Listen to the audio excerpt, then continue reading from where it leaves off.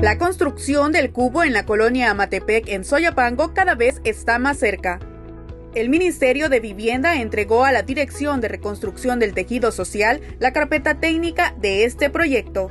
Estamos trabajando de forma articulada para que los cubos se conviertan no en un simple espacio eh, de infraestructura que se vea bonito y eso, sino que nuestro interés más fuerte es lo que el cubo va a generar alrededor de los procesos organizativos con los jóvenes, con las ADESCOS, con los adultos, con la gente beneficiada. Para mí es, es un, un privilegio poder ser parte de estas oportunidades que se están llevando a las comunidades.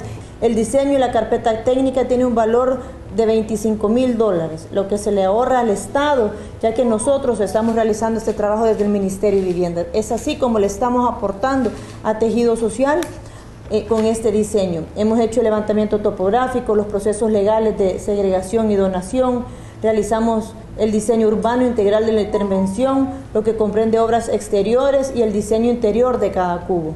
Esta obra es parte de la fase 2 del Plan Control Territorial, el cual no ha obtenido el financiamiento por parte de la Asamblea Legislativa al no ratificar el préstamo de 91 millones de dólares que pidió el Ejecutivo. Estamos hablando de que este cubo va a venir a beneficiar aproximadamente a 10.000 habitantes eh, si ponemos todas las comunidades aledañas que, pueden tener acceso totalmente a este cubo, justamente porque la zona es una zona muy buena, eh, tenemos un muy buen terreno donde será la construcción, ya se hicieron todas las coordinaciones con la alcaldía de Soyapango para poder obtener el terreno en un comodato y lo que nos hacía falta era la carpeta, gracias a Dios ya la tenemos, así que vamos a ser parte de, la realidad de eso.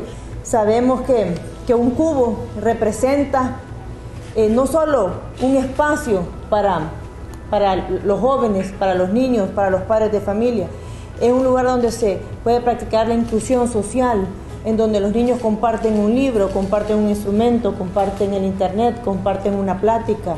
Y, y eso cambia la situación en un municipio. Estamos convencidos que un cubo lleva paz a una comunidad.